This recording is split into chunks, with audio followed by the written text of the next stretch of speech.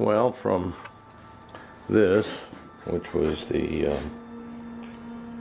cylinder that I carved along with the uh, the first one, and so that's the second foot there, and uh, this is the uh, completed uh, first foot here. So I cleaned it up a little bit with uh,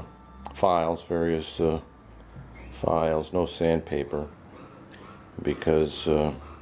I, you know, may want to go back to carving, and once you sand it, then um, you shouldn't go back with uh, chisels because it dulls them awful quick because the uh, sand is embedded in the in the wood grain. But um, it's pretty good. Yeah, I ultimately will sand it and uh, when it's finished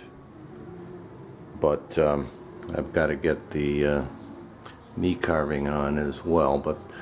uh, before I do that I think I'll carve the uh, the other foot. So uh, that'll be the next uh, the next project here is to carve the second foot